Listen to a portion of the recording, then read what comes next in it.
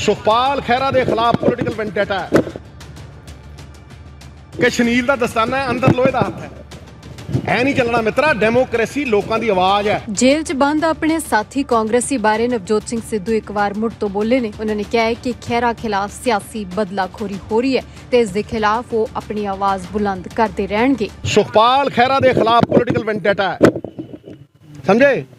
ਸੁਖਪਾਲ ਖਹਿਰਾ ਸਾਹਿਬ ਨੂੰ ਜਿਸ ਤਰੀਕੇ ਨਾਲ ਦਿੱਤਾ ਗਿਆ, ਮੈਂ ਉਹਦੇ ਤੇ ਪੂਰੀ ਤਰ੍ਹਾਂ ਠੋਕ ਵਜਾ ਕੇ ਕਹਿਤਾ ਤੇ ਮਿੱਤਰਾ 323 ਚ ਮੈਨੂੰ ਅੰਦਰ ਦਿੱਤਾ, ਉਹਦੇ ਬਾਰੇ ਤੁਸੀਂ ਕੀ ਕਹੋਗੇ?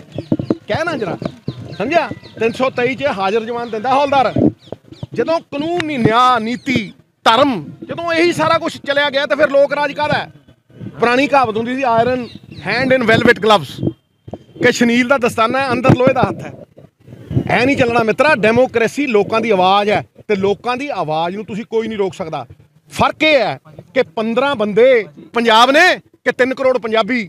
ਮੈਂ 3 ਕਰੋੜ ਪੰਜਾਬੀਆਂ 'ਚ ਫਿਰੂੰਗਾ। ਦਰਅਸਲ ਸੁਖਪਾਲ ਸਿੰਘ ਖਹਿਰਾ 28 ਦਸੰਬਰ 2022 ਤੋਂ ਜੇਲ੍ਹ 'ਚ ਨੇ। 4 ਜਨਵਰੀ ਨੂੰ ਪੰਜਾਬ ਹਰਿਆਣਾ ਹਾਈ ਕੋਰਟ ਨੇ 2015 ਦੇ ਡਰਗ ਕੇਸ 'ਚ ਉਹਨਾਂ ਨੂੰ ਜ਼ਮਾਨਤ ਦੇ ਦਿੱਤੀ ਸੀ। ਪਰ ਨਾਲੋਂ ਨਾਲ ਪੰਜਾਬ ਪੁਲਿਸ ਨੇ ਇੱਕ ਹੋਰ ਮਾਮਲਾ ਦਰਜ ਕਰ ਖਹਿਰਾ ਨੂੰ ਗ੍ਰਿਫਤਾਰ ਕਰ ਲਿਆ। ਹੁਣ ਉਹ ਇਸ ਮਸਲੇ ਦੇ ਵਿੱਚ ਨਿਆਇਕ ਹਿਰਾਸਤ ਦੇ ਵਿੱਚ ਨੇ। ਪਰ ਜ਼ਮਾਨਤ ਮਿਲਣ ਦੇ ਐਨ ਬਾਅਦ ਇੱਕ ਹੋਰ ਕੇਸ 'ਚ ਗ੍ਰਿਫਤਾਰੀ ਨੇ। ਸਿਆਸੀ ਸਫਾਂ 'ਚ ਮਾਨ ਸਰਕਾਰ ਤੇ ਬਦਲਾਖੋਰੀ ਦੇ ਇਲਜ਼ਾਮਾਂ ਨੂੰ ਹੋਰ ਹਵਾ ਦਿੱਤੀ ਤੇ ਹੁਣ ਨਵਜੋਤ ਸਿੰਘ ਸਿੱਧੂ ਮਾਨ ਸਰਕਾਰ ਨੂੰ ਘੇਰ ਰਹੇ ਨੇ।